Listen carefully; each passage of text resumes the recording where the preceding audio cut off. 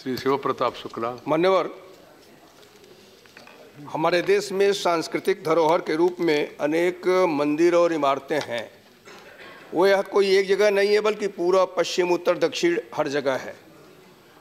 ऐसे मंदिरों के संरक्षण की हमको अत्यंत आवश्यकता है और मैं समझता हूँ कि इसको चिन्हित करके टूरिज़्म के टूरिज़्म की दृष्टि से अगर ध्यान दिया जाए तो इनक्रेडिबल इंडिया के तरह अगर भारतीय दूतावासों में भी किया जाए तो निश्चित रूप से भारत का टूरिज़्म भी बढ़ेगा और हमारी जो स्थापत्य कला है, उसका विकास भी होगा। अभी निकट ही बहुत जल्दी, थोड़ी दिनों पहले मान्यवर मध्य प्रदेश में मुरैना के पास बटेसर है, जहाँ सौभाग्य ये है कि हमारे, जी?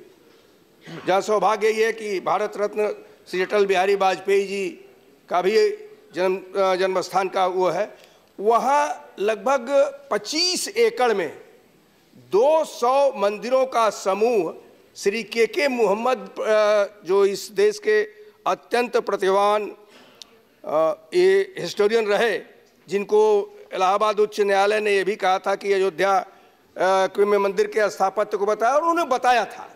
उन्होंने इसकी खोज किया था और खोज करने के बाद ये पाया कि इसको निश्चित रूप से विकसित किया जाना चाहिए।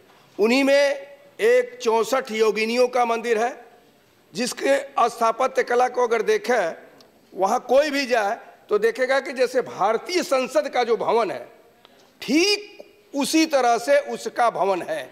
और मुझे लगता है कि शायद हो सकता है कि कोई गया हो और उसको देखने के बाद ही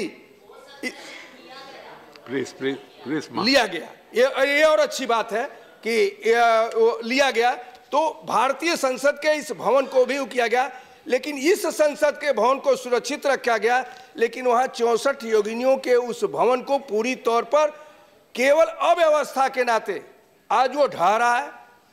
मुझे लगता है कि निश्चित रूप से भारत सरकार को, पुरातत्व विभाग को इस पर ध्यान देना चाहिए और दे करके वहाँ 2005 में 80 मंदिरों का जीर्णोद्धार किया गया। अभी तक वो अधूरा है इस पर ध्यान दिया जाए और इन सबको जानकारी करके इनक्रेडिबल इंडिया के तरह के, के तहत उसका प्रचार प्रसार किया जाए और भारत के टूरिज़्म को बढ़ाया जाए। धन्यवाद।